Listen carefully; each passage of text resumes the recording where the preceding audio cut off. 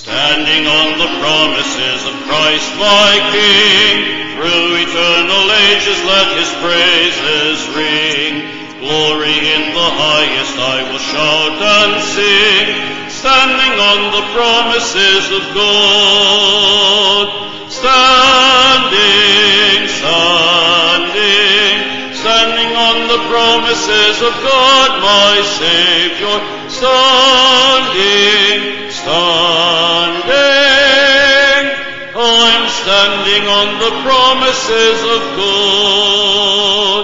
Standing on the promises that cannot fail, when the howling storms of doubt and fear assail. By the living word of God I shall prevail, standing on the promises of God. Standing, standing, standing on the promises of God my Savior. Standing, standing, I'm standing on the promises of God. Standing on the promises I now can see, perfect present cleansing in the blood for me. Standing in the liberty where Christ makes free, standing on the promises of God. Standing, standing, standing on the promises of God my Savior. Standing, standing, I'm standing on the promises of God.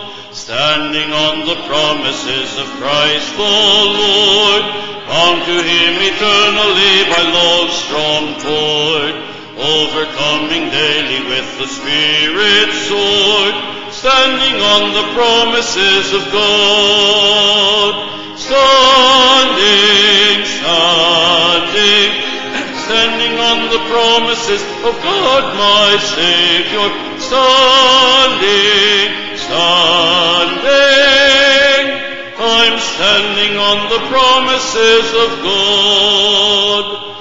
Standing on the promises I cannot fall, listening every moment to the Spirit's call, resting in my Savior as my all in all, standing on the promises of God. Standing, standing, standing on the promises of God my Savior. Standing, standing, I'm standing on the promises of God. Amen. Thank you. You may be seated. Standing on the promises of God. Stephen was standing on the promises of God. We need to remember that standing on the promises of God is not always a way of getting out of the troubles that we find ourselves in. Tonight we're in Acts chapter 7, looking at verses 40, uh, 54, excuse me, through 56 tonight. You recall that last week we talked about resisting the Holy Ghost, and Stephen has, in verses 51 through 53, reached the climax of his sermon, told the accusers that they are in fact the ones who are guilty, that they are the ones who historically, through their ancestors and down to the present day for them, have resisted the Holy Ghost. Very important lessons to learn from that because it tells you that even God's chosen people can resist the Spirit of God, and we find other illustrations of that in Scripture. Resisting the Holy Ghost. And they did not want to hear the message. Those who are out of fellowship, those who are not walking in the ways that God has ordained, will very often, and frank, frequently, mostly often, uh, resist when you tell them the truth. They will not like it. Uh, in fact, they may do to you as they did here to Stephen.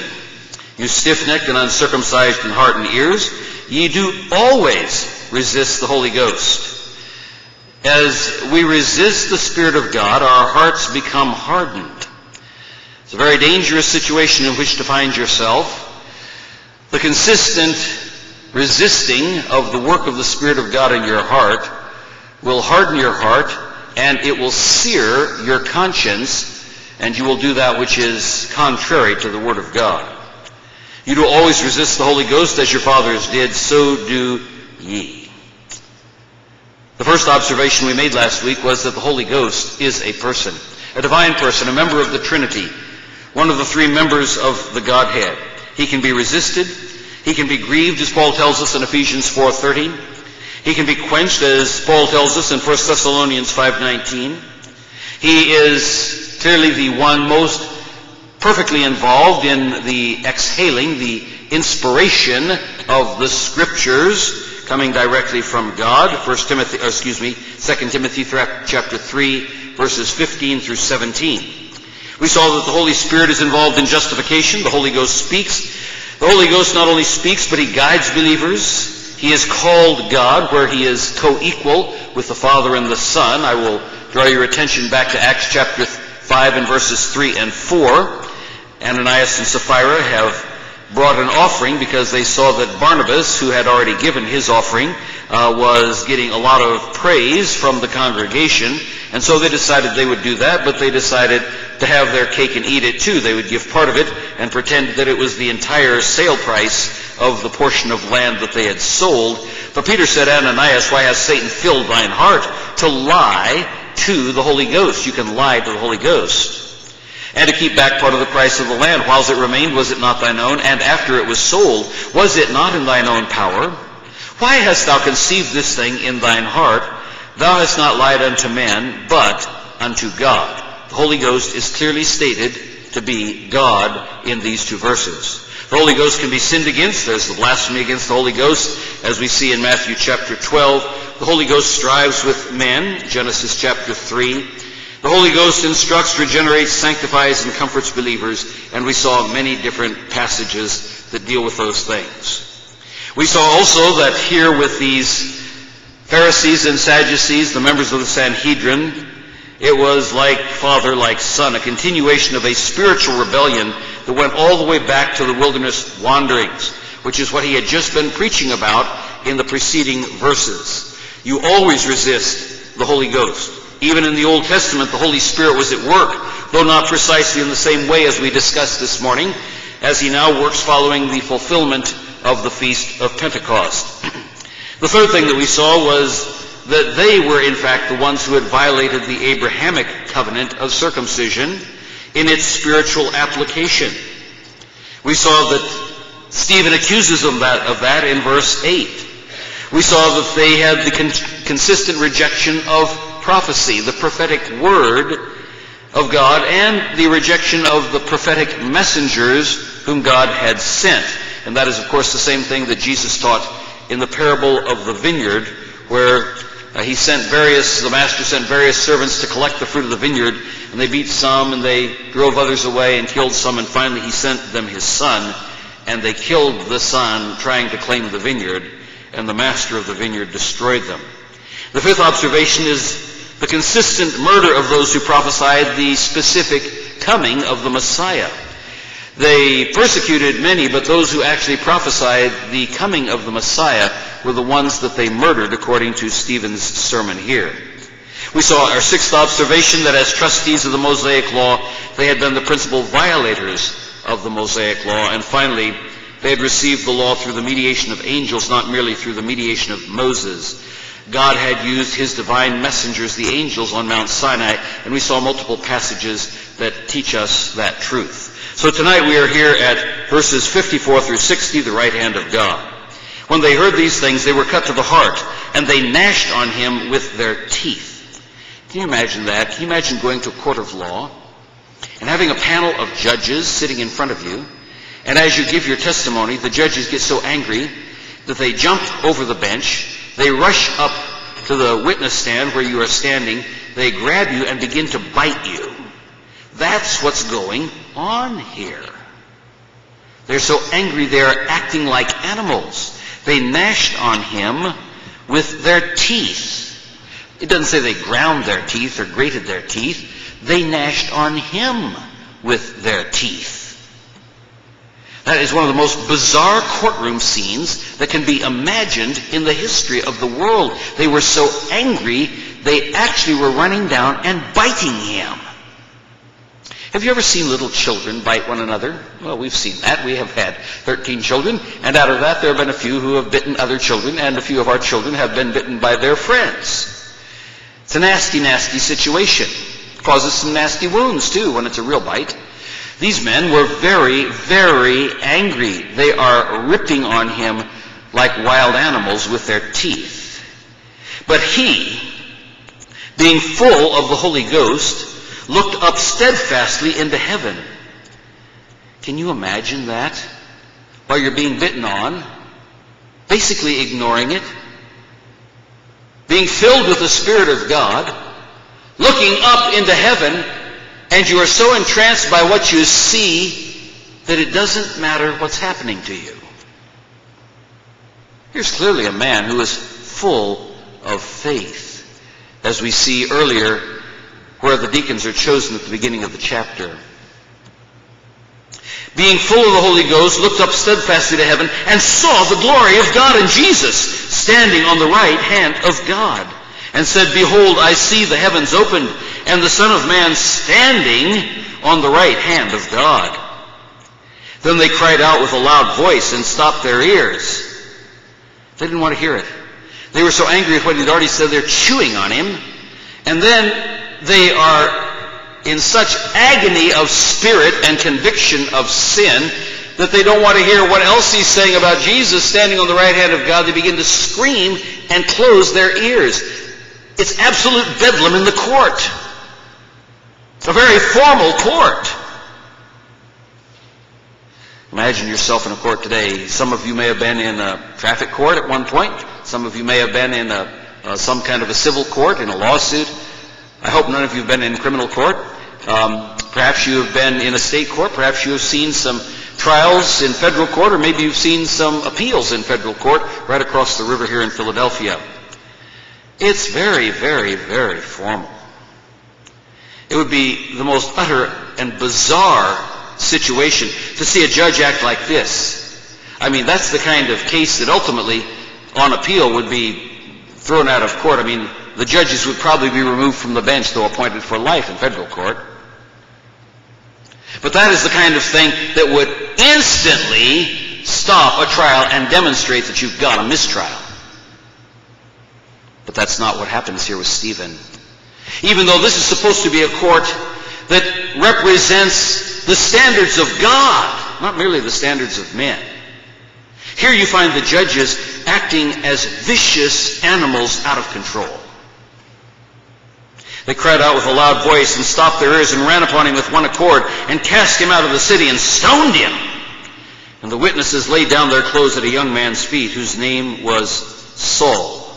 And they stoned Stephen, calling upon God and saying, Lord Jesus, receive my spirit. And he kneeled down and cried with a loud voice, Lord, lay not this sin to their charge.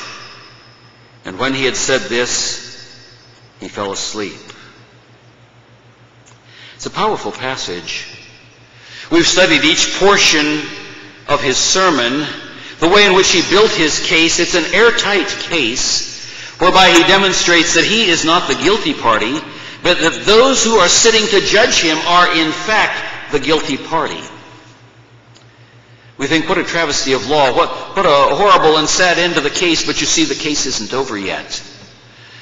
Because there was one sitting in the heavens higher than that court. There was a court of appeals. There is a court before whom each one of those who sat to judge Stephen that day would someday have to stand and give an account for what they had done. Dear friends, whatever God allows to happen in your life, and God was clearly aware of what was happening to Stephen. God was clearly watching what was happening to Stephen. The Lord Jesus Christ is not merely seated at the right hand of the Father, he was standing. We will see a very interesting distinction as we look at different portions of Scripture tonight, talking about Christ seated at the right hand of the Father versus Christ standing at the right hand of the Father. Twice in the text it tells us here, Jesus standing on the right hand of God, verse 55. And verse 56, the Son of Man standing on the right hand of God. We learn many things as we look at this text tonight. The first thing that I think is quite obvious is you can be filled with the Holy Spirit and still be killed by the enemies of God. You and I often assume, but not always rightly so, that when we're filled with the Spirit of God, everything will go our way. We are commanded to be filled with the Spirit, Ephesians 5.18. We are commanded to be walking in the Spirit. We are commanded to be walking by faith. We are commanded to witness boldly and faithfully. Stephen is doing all of these things here, and he is killed by a vicious mob. If you stop and consider it and look over the history of the church, in every land of this world you discover that there are those who, because of their faith, because of their witness, yes, even because of the fact that they were filled with the Spirit of God and their enemies were not, and the enemies could see the difference, killed them. That should be no surprise to us. It goes all the way back to Cain and Abel. And it's explained to us in 1 John the reason why. Wherefore slew he him? Because his brother's works were righteous and his own works were evil. Speaking of Cain and Abel, why did Cain kill Abel? Because he saw that his brother's works were righteous and he saw that his own works were unrighteous. And rather than repenting, although God had provided a lamb, a sin offering for Cain, if he would but take it, it was crouching at his door. God tells him so. God had brought it. Rather than doing that and humbling himself to get rid of the contrast, he merely killed his brother. It's one of the things that we discover very sadly throughout history because, as I said this morning, we are in a spiritual war. And in war there are casualties. Sometimes the very bravest of the troops, those who have pressed forward to the front lines, those who are making the greatest assault upon the enemy, are the ones that the enemy cannot tolerate to live. And so we see it here because Stephen was the man, you recall, who with his sound doctrine and with the ability to proclaim as he did was putting down all of those who opposed the gospel earlier in this chapter. The enemy couldn't tolerate it. Second thing we learn is not only you can be filled with the Holy Spirit and still be killed by the enemies of God, you can preach the truth and still be killed by the enemies of God. You look through Stephen's sermon. There is nothing in that sermon that is a lie. There is nothing that is aberrant. There is nothing that is twisting the history of the nation of Israel. These are men who knew the history, and Stephen recounts it to them, building stone upon stone upon stone to show what has happened in the past and how it is happening in the present. You can walk by faith and still be killed by the enemies of God. Stephen isn't here and being killed because suddenly his faith slipped, the enemy saw an opening and they got through to him and killed him. He was walking by faith. You can use irresistible logic and watertight proofs. Stephen does that. And still be killed by the enemies of God. But you know there is a bright ray of light and our attention is drawn to it in verse 8. You never know who you will reach for Christ, even as you go to your death. There was a young man standing by, and the witnesses cast their clothes at his feet.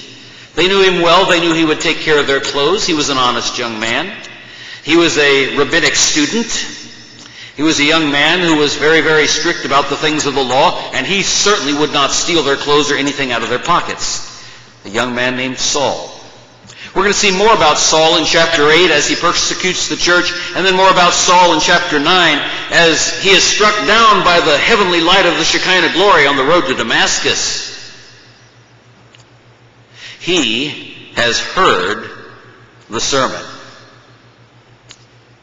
He has seen Stephen as Stephen looks to heaven and declares that he sees Jesus standing on the right hand of God. Stephen declaring that Jesus is in the Shekinah.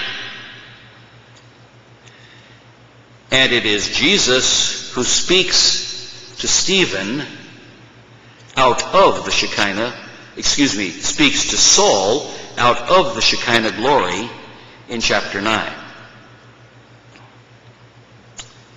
You never know whom you will reach for Christ if you have a faithful testimony even in the hour of death.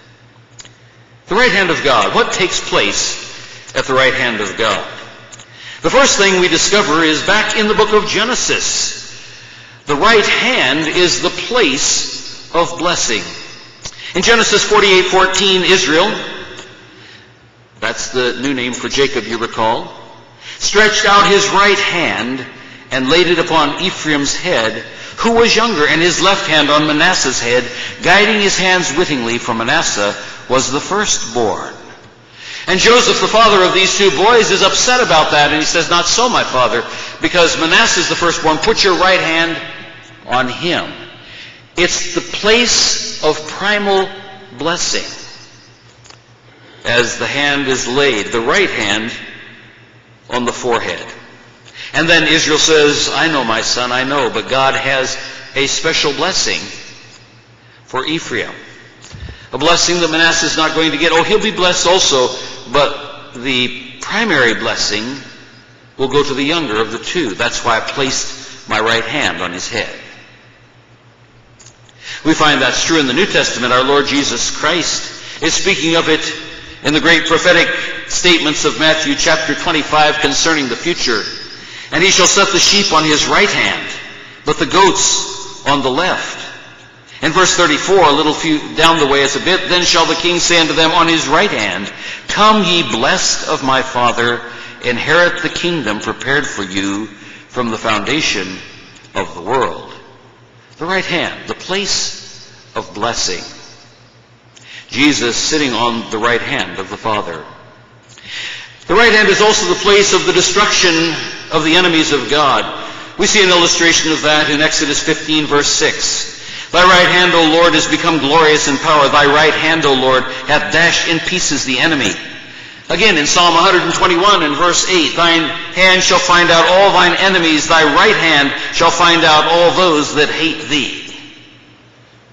It's the place of destruction for the enemies of God. It is also the place of chastening for those who rebel against God. You recall Dathan and Abiram, Nadab and Abihu. Exodus 15:12, Thou stretchest out thy right hand, the earth swallowed them. It's the source of the law of God. Deuteronomy 33, 2. And he said, The Lord came from Sinai and rose up from Seir unto them. He shined forth from Mount Paran. He came with ten thousands of his saints. From his right hand went the fiery law for them. He's talking about what happens on Mount Sinai. He's talking about the right hand of God extended to give the tables of the law to Israel. We see that the right hand is a place of royal honor. 1 Kings chapter 21, or excuse me, chapter 2 verse 19. Bathsheba therefore went in to King Solomon to speak unto him for Adonijah. And the king rose up to meet her and bowed himself unto her and sat down on his throne and caused a seat to be set for the king's mother and she sat on his right hand. Now you know that she's about to ask the question, that Abishag the Shunammite be allowed to be Adonijah's wife. Abishag, the young woman who had been given to David as a wife, but he had never known her.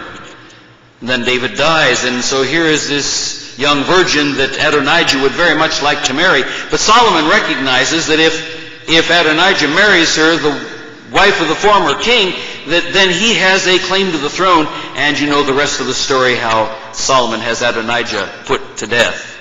But Bathsheba is seated at his right hand before he knows all of this. Psalm 45, 9, King's daughters were among thine honorable women. Upon thy right hand did stand the queen in the gold of Ophir. Or Psalm 110, verse 1, a very important messianic psalm. In fact, one of the most important messianic psalms. Psalm 110, verse 1, a psalm of David. The Lord said unto my Lord, Sit thou at my right hand until I make thine enemies thy footstool is a prophecy about what our Lord Jesus Christ did following the resurrection where he went and was seated on the right hand of the Father. We'll see some verses about that in a few moments. It's the place of honor. Matthew 22, 44, the Lord said unto my Lord, Sit thou at my right hand until I make thine enemies thy footstool. Jesus quotes that verse about himself when they challenge him as to his messianic claims. He's just answered the three different challenges as to why he can't be the Messiah. Oh, there were the Herodians. They came to him with the coin and said, should we pay taxes? There are the Sadducees who came to him and challenged him. They didn't believe in the resurrection. So they gave him the story about a woman who was married to seven different brothers under Levirate law and didn't have any children by them. And they asked him, okay, so whose wife is she in the resurrection? Lord Jesus Christ answers the questions and then he challenges them. And he quotes Psalm 110. We've been over it, so we won't go over it again. But a fascinating understanding of that place of royal honor. Hebrews chapter 8 verse 1. Now of the things which we have spoken, this is the sum. We have such an high priest who is set on the right hand of the throne of the majesty in the heavens. That great high priest, of course, is our Lord Jesus Christ. The right hand is the source of deliverance. Psalm 16:8 I have set the Lord always before me. Because he is at my right hand I shall not be moved. Show thy loving kindness O thou that savest by thy right hand them which put their trust in thee from those that rise up against them. Psalm 60 verse 5 that thy beloved may be delivered save with thy right hand and hear me. Psalm 108 verse 6 that thy beloved may be delivered save with thy right hand and answer me. Psalm 138 verse 7 though I walk in the midst of trouble thou wilt revive me. Thou shalt stretch forth thine hand against mine enemies, and thy right hand shall save me. Isaiah 41:10 Fear thou not, for I am with thee. Be not dismayed, for I am thy God. I will strengthen thee. Yea, I will help thee. Yea, I will uphold thee with the right hand of my righteousness. The scriptures are replete with passages of scripture that tell us about the right hand of God and what the right hand of God does. God may be speaking anthropomorphically, but he nonetheless expresses to us through that picture what he will do for his people.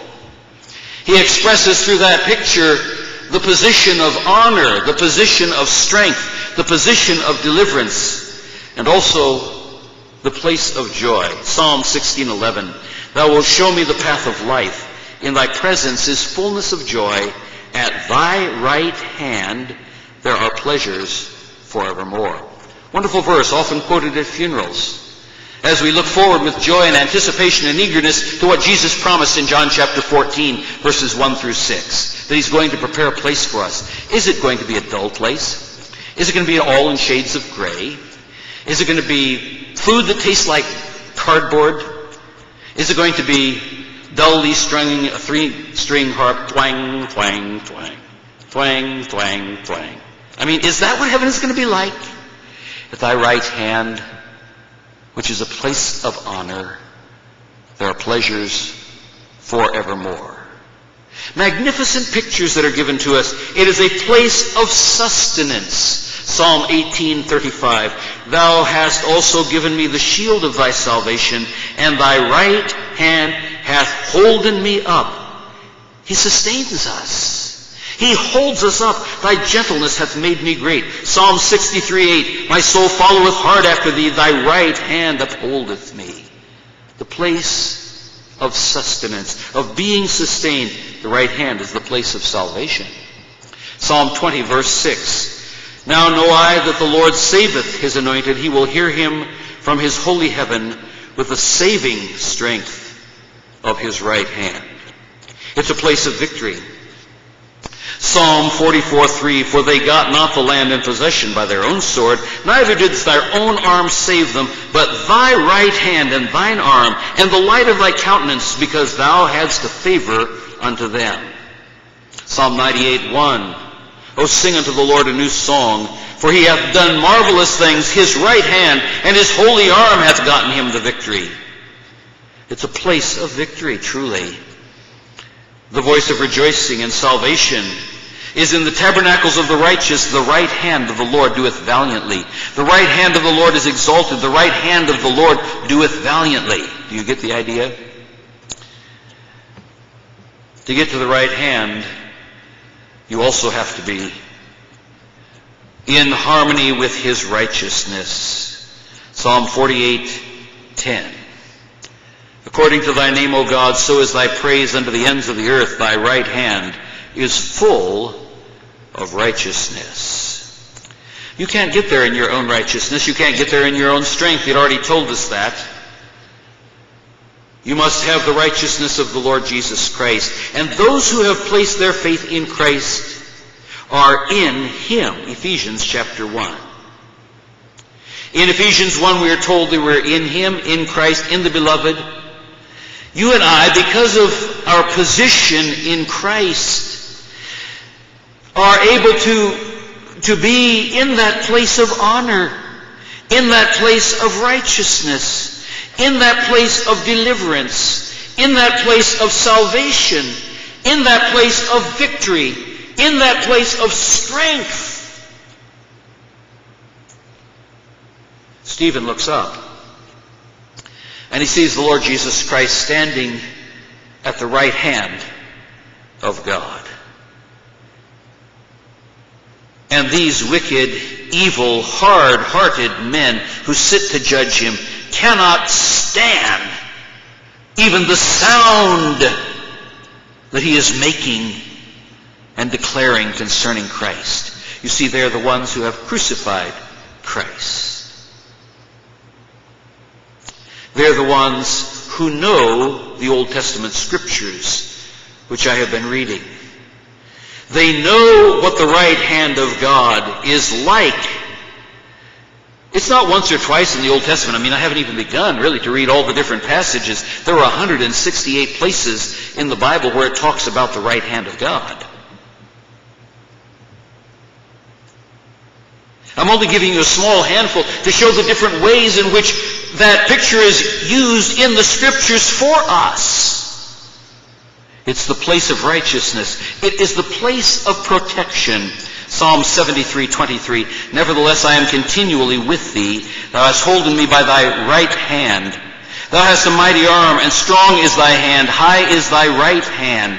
Isaiah 41:13. For the Lord thy God will hold thy right hand, saying unto thee, Fear not, I will help thee.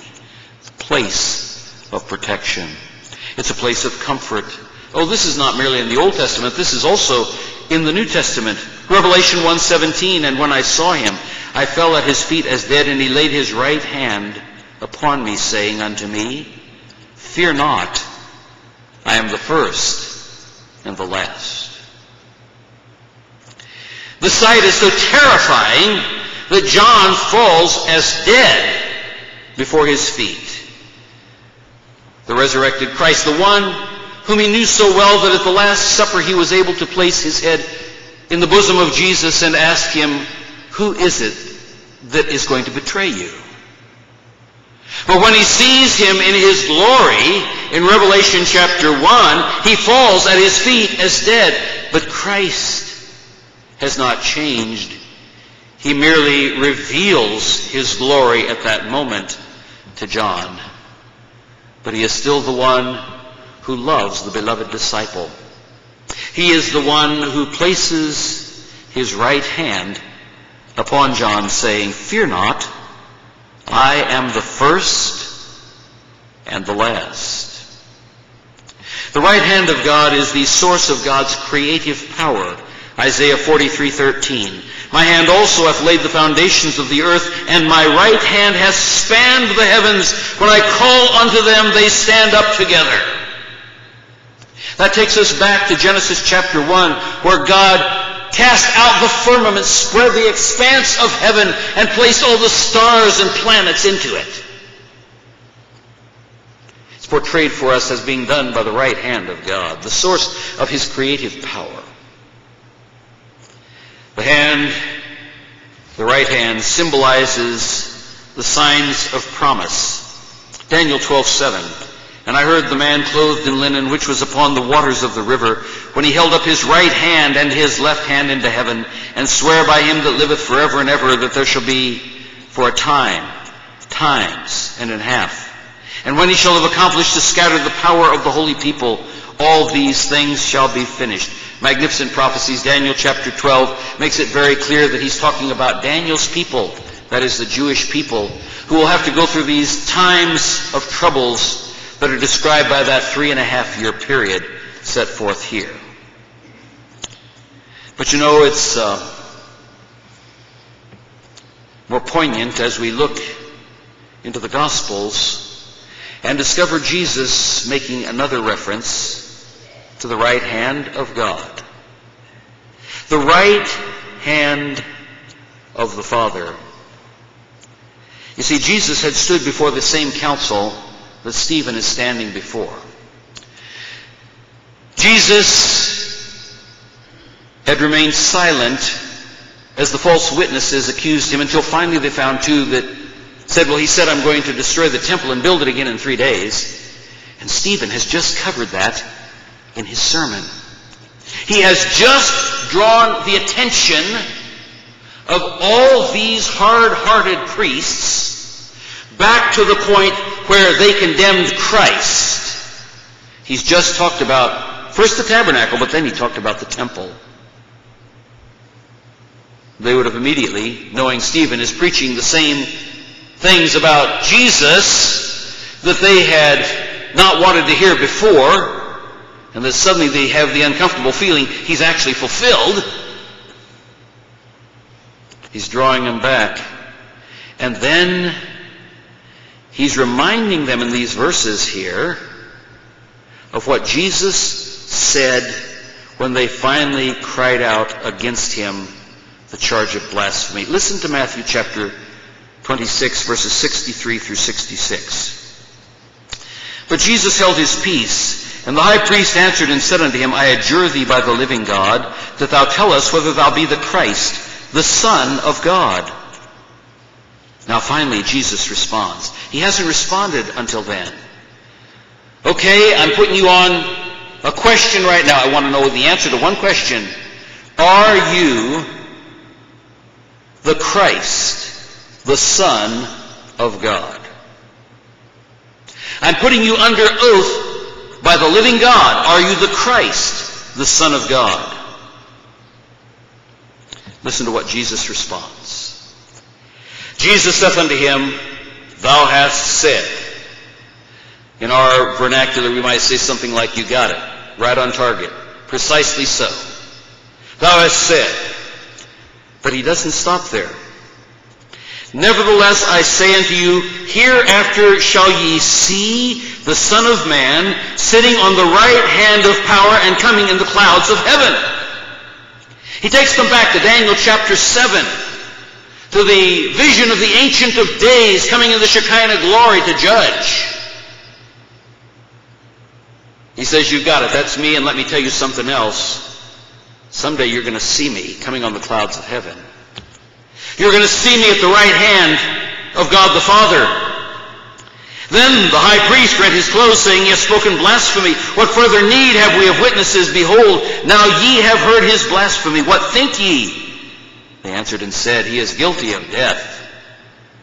Stephen, you see, has done precisely the same thing. He brings them precisely to the same point when he stands up and says, I see the Son of Man standing on the right hand of God. That was the point where they broke before. That's where the, the point where they break again. Instead of repenting, instead of saying, you know, we were wrong back then. We sinned. We confess it as sin. We repent and tear their clothes in repentance. They tear their clothes again in anger and rush on him and chew on him. Before they at least went through getting the Romans permission to crucify Christ. But here they are so angry that without getting any permission from anybody at all, they are so angry, they grab him, they chew on him, they drag him outside, and they stone him to death instantly.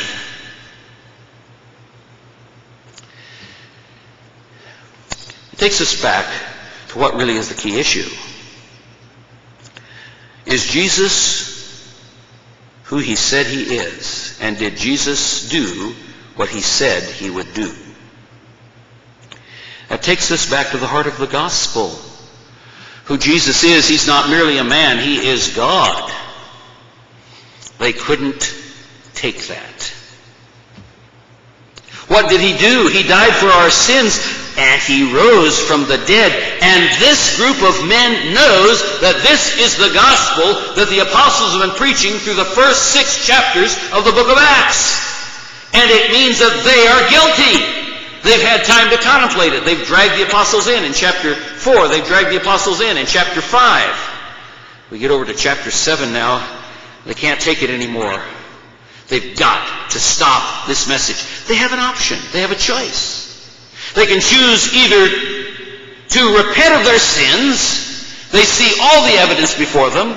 They see the miraculous power of the gospel as it had been working.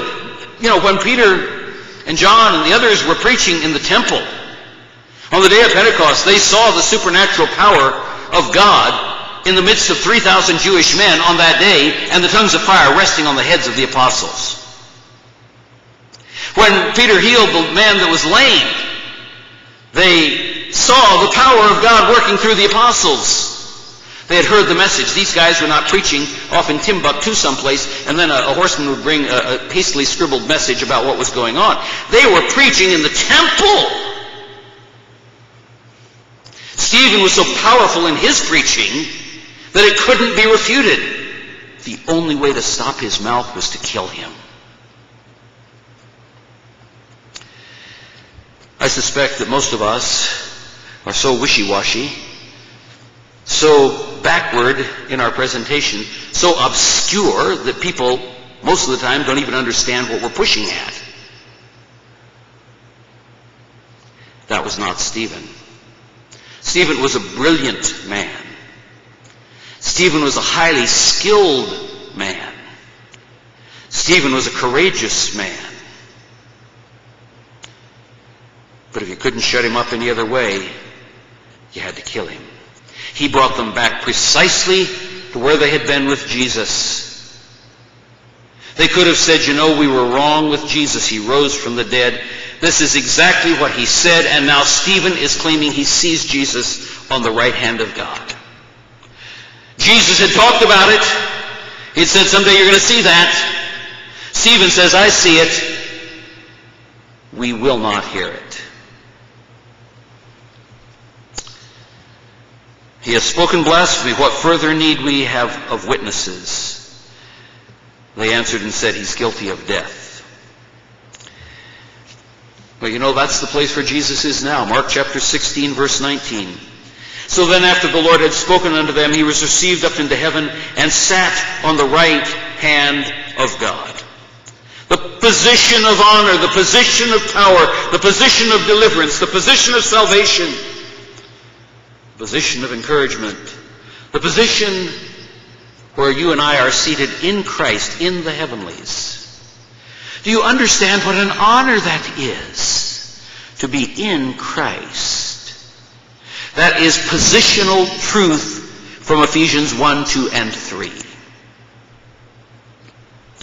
It is also the place from which Christ and the Father sent the Holy Spirit. Acts 2.33. Therefore, being by the right hand of God exalted, and having received of the Father the promise of the Holy Ghost, he hath shed forth this which you now see and hear. That's the day of Pentecost. Peter explaining theologically what has happened practically to the 12 apostles as they stood and preached in 18 different languages in the courtyard of the men in the temple.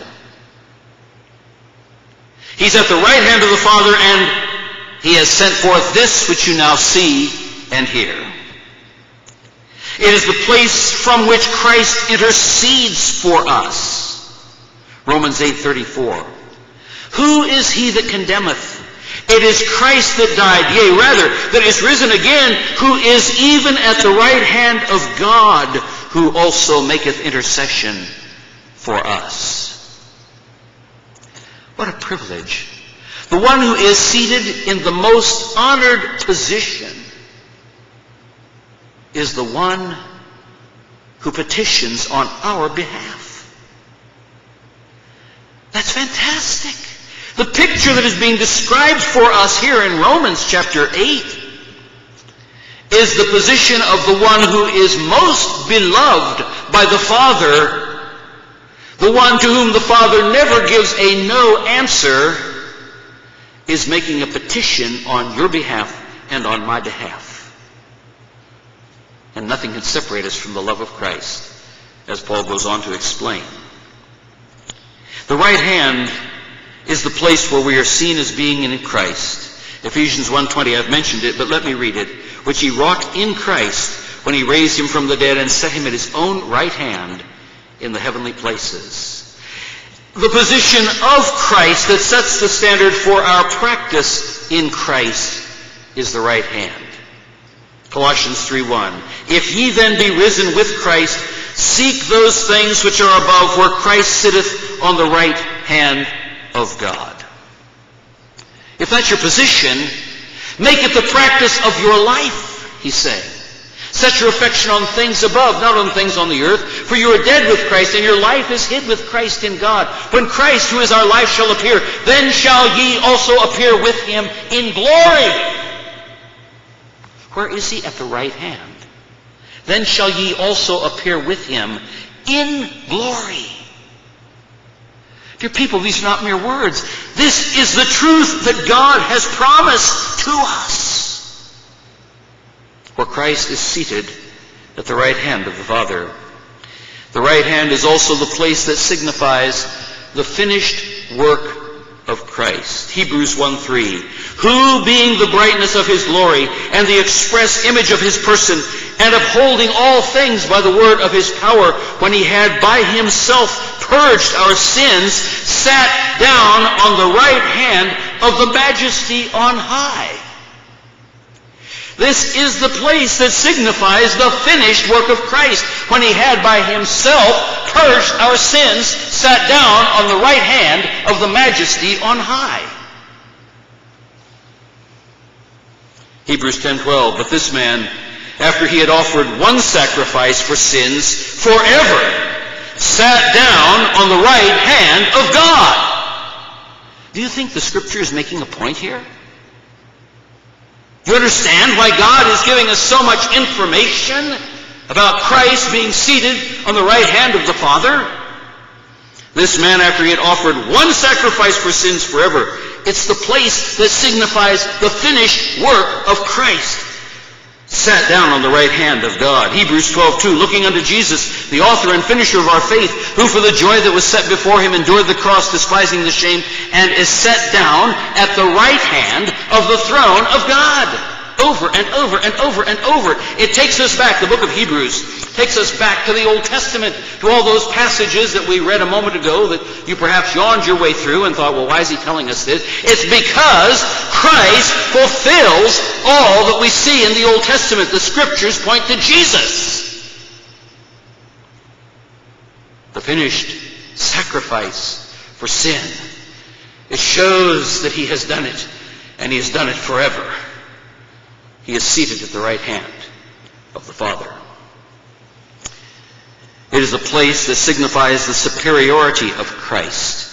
Hebrews 1.13, But to which of the angels, said he at any time, Sit on my right hand until I make thine enemies thy footstool. That takes us back to Psalm 2, another of the great messianic psalms. A quotation from it. The angels don't have that honor. The angels don't have that privilege, though they be mighty indeed. They do not have that position. Unto which of the angels said he at any time, Sit thou on my right hand until I make thine enemies thy footstool. That's what he said to the Son, not to the angels. It's the place that shows the divine authority of Christ. 1 Peter 3.22 who is gone into heaven and is on the right hand of God, angels and authorities and powers being made subject unto him. It not only shows his superiority, but it shows his divine authority. Angels and authorities and powers being made subject unto him. Why? Because he is on the right hand of God. Back to our text. When they heard these things, they were cut to the heart and they gnashed on him with their teeth. But he, being full of the Holy Ghost, looks up steadfastly into heaven and saw the glory of God. That's the Shekinah glory. These Jews know what's going on, and they will not repent. and said, Behold, I see the heavens opened, and the Son of Man standing on the right hand of God. Then they cried out with a loud voice and stopped their ears and ran upon him with one accord and cast him out of the city and stoned him, and the witnesses laid down their clothes at the young man's feet, whose name was Saul. And they stoned Stephen, calling upon God, and saying, he says two things. He speaks to the one whom he sees, Lord Jesus, receive my spirit. And as he's dying, he kneels down, cries with a loud voice, Lord, lay not this sin to their charge. And when he said this, he fell asleep. Safe in the arms of Jesus. Safe on his gentle breast.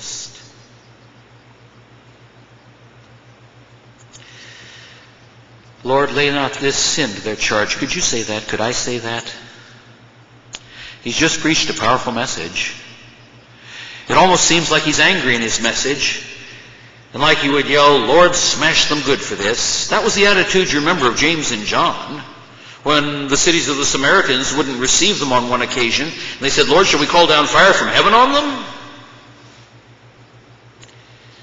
Jesus said unto them, You know not of what spirit you are. Stephen is a man full of faith and of the Holy Ghost. Stephen is a man who at this very moment is walking by faith. He is a man who has no bitterness in his spirit, no anger in his spirit, no desire for revenge in his spirit. Lord, lay not this sin to their charge, his last words. And he falls asleep. Our gracious Heavenly Father, we pray that we might learn both from the sermon of Stephen and from the life of Stephen. A man who had not only correct doctrine, but he had a correct life, a life that was filled with the Spirit of God, a life that was courageous in the face of danger, a life that was unashamed of the gospel and testimony of Jesus Christ, a life that was pure and irreproachable,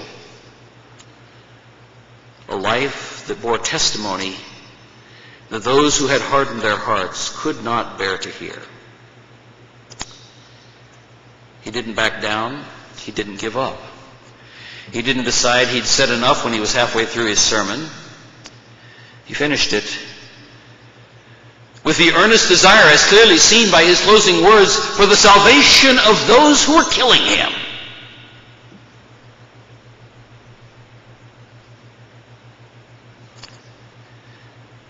As with the words of Jesus, Father, forgive them, for they know not what they do.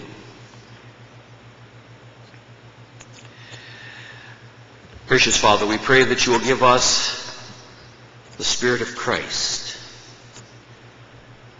the ability to respond with gentleness and kindness, even when others are being obnoxious and perhaps even severely persecuting us. That we would demonstrate and show forth the fact that your Holy Spirit controls us, not merely that he indwells us and that the words of our lips would also reflect what is in our life as we treat others with gentleness and kindness and with forgiveness.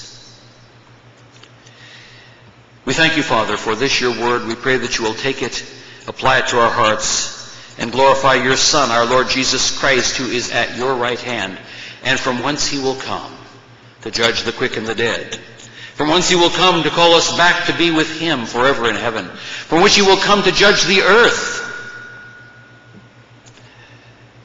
We thank you for our Lord Jesus Christ, in whose name we pray. Amen.